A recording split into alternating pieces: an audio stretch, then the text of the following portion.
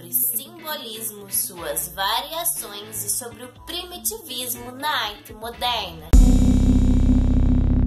Olá, tudo bem com você? Eu sou Angélica Ribeiro, artista visual, e hoje eu vou falar com você sobre os movimentos simbolista e primitivista. Aproveita, já curte esse vídeo e compartilha com a galera. O simbolismo surgiu na década de 1880 com um tom espiritualista em contraponto ao materialismo da época e as mudanças tecnológicas que estavam começando a efervescer naquela época. Muitos artistas simbolistas tinham interesse em pintar o folclore camponês e também a devoção religiosa do, das áreas rurais, do povo que morava nas áreas rurais. Isso tudo usando formas simplificadas, cores puras e fortes são artistas simbolistas, Paul Gauguin e Emily Bernard. Mas Angélica, você falou no vídeo passado que o Paul Gauguin era pós-impressionista. Como é que ele está aparecendo agora como artista simbolista? Pois bem,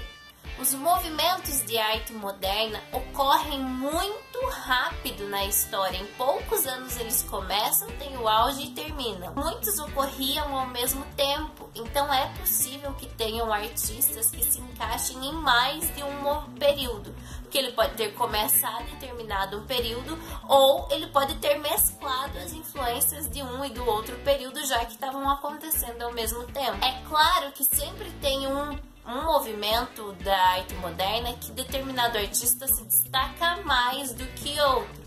Mas isso não significa que necessariamente aquele artista passou a vida inteira fazendo somente aquilo. O sintetismo é uma das variações do simbolismo, que trabalha temas mais singelos, coisas um pouco mais leves do que os temas tratados pelos demais simbolistas. Outro grupo que é derivado do simbolismo se chama os Nabis. Eles eram um grupo de artistas que buscavam a expressividade, as cores chapadas e contornos bastante fortes nas suas obras. Um artista que representa bem as variações simbolistas se chama Pierre Bonnard. Além do simbolismo e das suas variações, eu também vou falar aqui nesse vídeo sobre o primitivismo.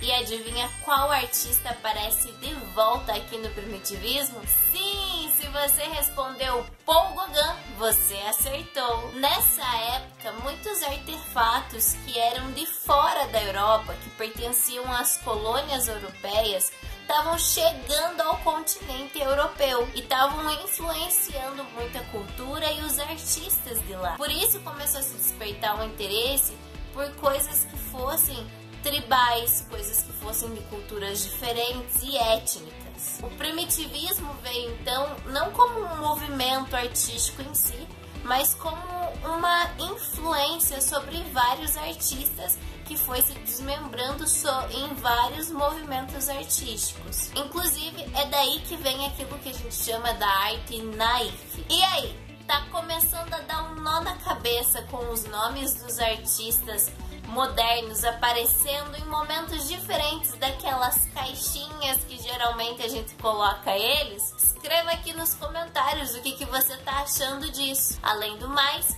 aproveita para se inscrever no canal e ativar o sininho das notificações para receber mais conteúdo sobre mais coisas da arte moderna, já que a gente está nessa série bem longa sobre a arte moderna. Muito obrigada por assistir até aqui. Tchau!